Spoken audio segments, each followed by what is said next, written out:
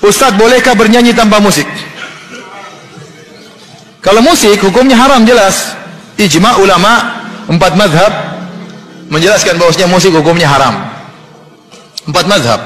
Dan semua madhab menukil ijma, ijma, ijma, ijma, ijma. Sepakat ulama. Dan kita tahu di antara sumber hukum Islam selain Al-Quran dan Sunnah adalah ijma. Kemudian datang sebagian ulama seperti Ibn Hazm Al-Andalusi ya, menyatakan hadis tentang haramnya musik dhaif, tapi dia salah. Pertama, terlalu banyak ahlul hadis yang lebih fakih tentang hadis daripada dia menyatakan hadisnya sahih dalam Sahih Bukhari. Dia mendhaifkan.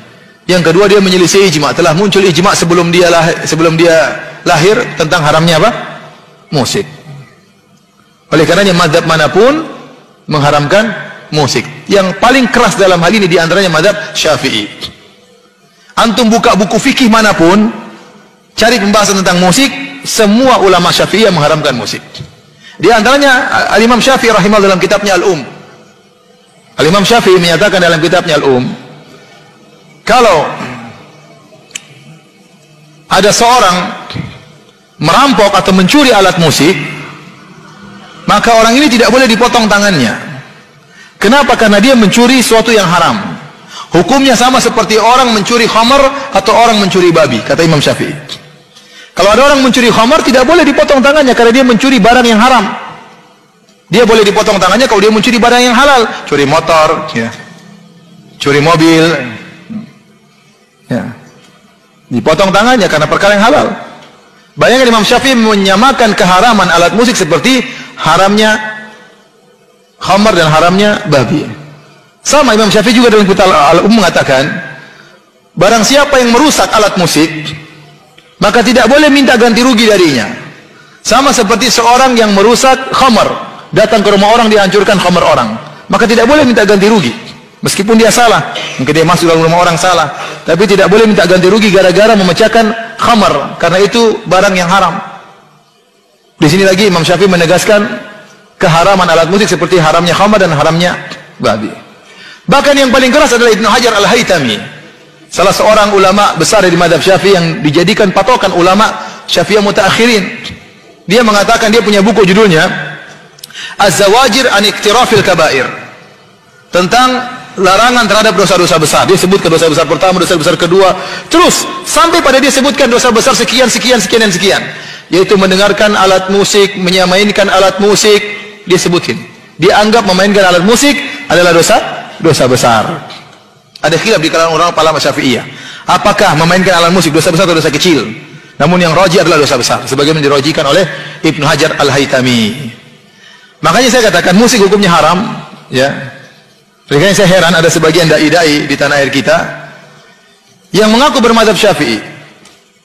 Bahkan menyuruh orang untuk bermadhab Syafi'i. Bahkan mencela orang yang tidak bermadhab. Tapi kalau sudah bicara musik, dia tinggalkan madhab Syafi'i. Benar. Dia tinggalkan madhab Syafi'i. Tidak ada satu madhab pun yang dia pakai. Madhab Syafi'i enggak, madhab Hambali enggak, madhab Hanafi enggak, madhab Maliki enggak. Kenapa semuanya musik haram? Padahal dia mendengar-dengungkan harus madhab Syafi'i, madhab Syafi'i. Begitu masalah musik, dia tinggalkan madhab Syafi'i. Enggak tahu kenapa. Ini hukum musik. Nah, bagaimana dengan nyanyian tanpa musik? Maka Imam Syafi'i juga menjelaskan nyanyian tidak sama dengan musik ya. Hukum nyanyian ya boleh kalau terlalu banyak menjadi makruh selama tidak pakai alat alat musik. Hukum asalnya boleh. Adapun dalam ayat Al-Qur'an wa nasi may yashtari wal hadis liyudhil an sabilillah. Dalam surat Luqman di antara manusia ada yang memberi perkataan yang sia-sia untuk menyesatkan manusia. Ibnu Mas'ud mengatakan, "Wallahi, wallahi demi Allah, demi Allah innahu lagina." Sungguhnya itu adalah nyanyian. Para ulama menjelaskan nyanyian tersebut bukan nyanyian tanpa musik sebagian dijelaskan oleh Ibnu Rajab Al-Hambali dalam Fathul Bari karangan Ibnu Rajab. Fathul Bari ada dua. Fathul Bari Ibnu Hajar, Fathul Bari Ibnu Rajab. Kenapa disebutkan nyanyian? Maksudnya nyanyian yang disertai dengan alat musik karena di zaman Ibnu Mas'ud banyak orang-orang Romawi masuk Islam, orang-orang Persia masuk Islam dan mereka sering nyanyi dengan alat musik. Sehingga maksud dari Ibnu dalam ayat tersebut tatkala dia menafsirkan lahwal hadis kata-kata yang sia-sia haram ini maksudnya nyanyian, maksudnya nyanyian yang disertai dengan alat alat musik.